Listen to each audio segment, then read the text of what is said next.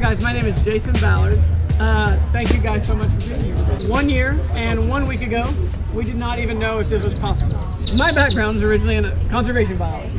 Uh, I ended up in building because if you look at the world like a conservation biologist and you say, where are all these ecological and human health issues coming from?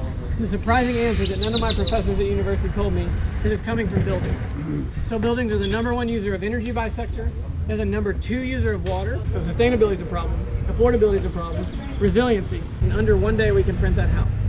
Cost $10,000. The full build out of that house, as you see it, would be about $35,000 which is still cheaper than my buddy who finished that house could build it for you conventionally. If I printed that house today with the Vulcan 2, we could print that house for about $2,500. What? And so that's pretty cool. Then you still have to finish, you gotta put a roof on it and all that kind of stuff. But we are really getting great on price. Our big goal at Icon, it's not gonna help us to be 10% cheaper. What we talk about a lot at Icon is half price housing. We are not there yet. So where are we? We've done a, a cost analysis of this house. So my buddy, Taylor Jackson, who's owns this property and is a, is a professional builder. He was nice enough to share his spreadsheets with us.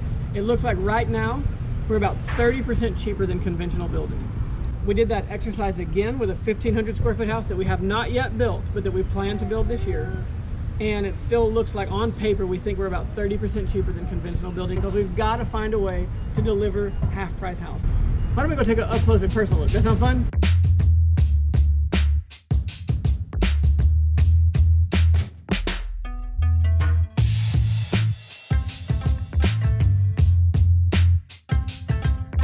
So getting the concrete to behave appropriately in the first instance was really hard.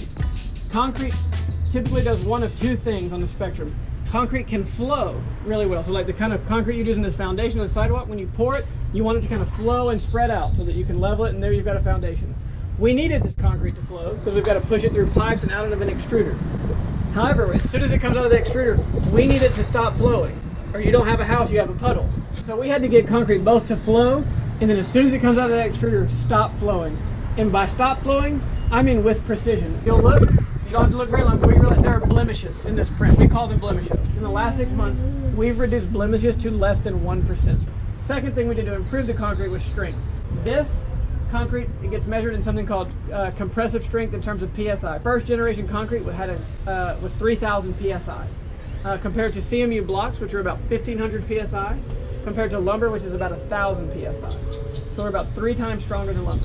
In the past year, we've improved the compressive strength to 6,000 PSI. So it's probably too strong, but it actually puts a lot of courage in us that we probably can make this work for multi-story buildings. Like concrete does not do very good in tension. So I talked about compression, it doesn't do very good in tension. And so you would not want to have a concrete roof or the things you would have to do to support a concrete roof means that you should just go ahead and have another kind of roof. We don't print just to show off. We print things if we can do them faster, stronger, and cheaper. And so it's right now the fastest, strongest, cheapest thing to do is print the shell and then do the roof and the windows and the doors kind of conventionally. We have a list of other automations we'd love to add. Two of the big ones would be like foundations. There's no reason we couldn't pour foundation concrete out of the machine, flush it, and then start the print. There's another thing we think we can automate these wall systems, and that's the MEP, mechanical, electrical, and plumbing. Right now, the way we do it is we either come to the foundation or the ceiling if we can. If we can't, follow code for puncturing the envelope of a CMU building.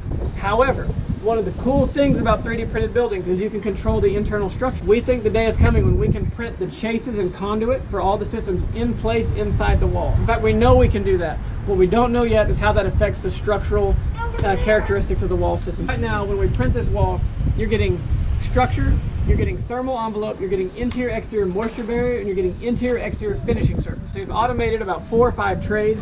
That means you've taken the labor cost to zero. Other fun things we have up for to do is a smoothing concrete, like where there's a smoothing apparatus that follows along the extruder and actually smooths the concrete as it prints in case people want that kind of finish. And we're gonna start experimenting with colors and dyes. Go inside and look at the house.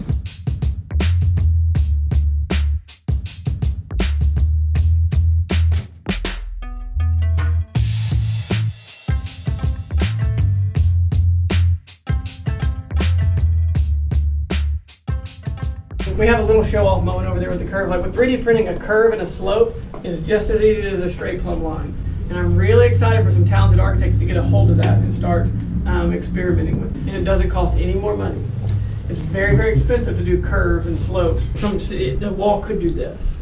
I mean, you can introduce all kinds of organic forms to the construction process that would cost millions of dollars. Think about like an app store for home designs. Like we like instead of picking out apps for your phone, you're picking out houses. You can click into them, you can stretch them, make them a little bigger. That tells you how that changes the cost. You see the price change. You're changing the size of the bedroom and the size of the bathroom.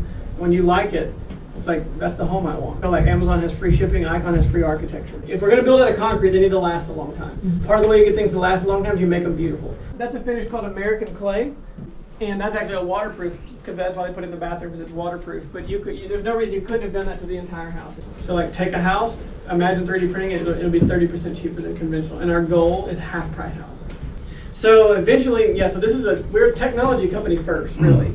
This is a tool we've developed, and we hope to put this tool in the hands of as many people as possible. However, we are going to have to guard and steward it very well in the early days. So, for instance, you have to use our concrete, not because I'm trying to make more money, because it's the only stuff I know that's safe.